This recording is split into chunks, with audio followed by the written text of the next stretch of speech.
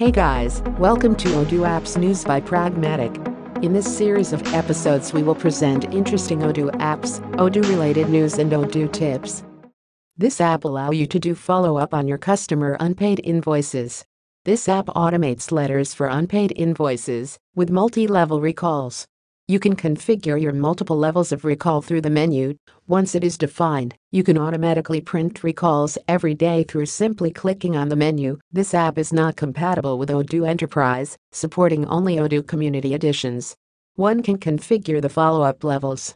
You can see an overdue payment details on customer. You can send or print overdue letters or send email. This app is available for Euro 99 for version 11. This app is contributed by Probuse Consulting Services. If you need any professional help to learn more on how to use it, you can connect with us at sales at pragtech.co.in. Subscribe to our channel in case not done so.